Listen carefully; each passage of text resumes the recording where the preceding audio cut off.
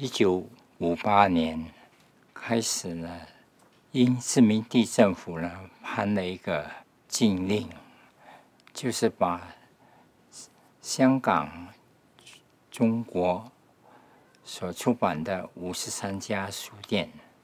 全部都被禁止发售跟流通，包括收藏。这个禁令一发布了以后呢，我们书业就面对了一个非常大的困境。那么这个困境呢，是造成了市面上的书本呢，就是越来越少了，进口来源都切断了。所以这样的情况啊，我就是一个学徒嘛，而且当时的书也并没有那么多。所以打从那个时候开始呢，我就感觉到书的来源跟它的本身的进口不容易得到了，所以我就觉得书本的重要性呢，就是在那个时候开始，我就收集了很多。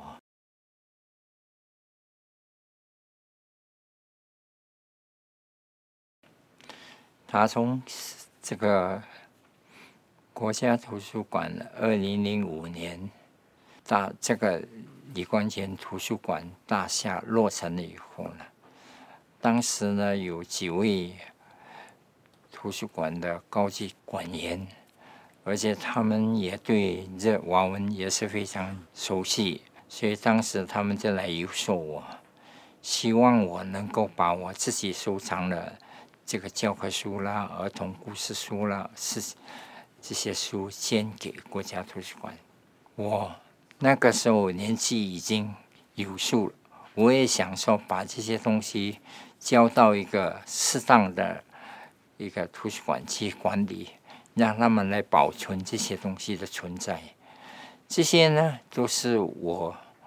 呃想的。后来呢跟这个馆员借谈了以后呢，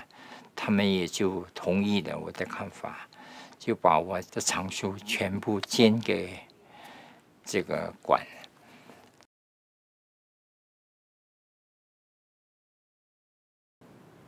最特别的是，应该是我的收藏的早期华文教科书。在中国一九二多年的时候呢，就拥有了这些东西。我们新加坡也陆陆续续的采用，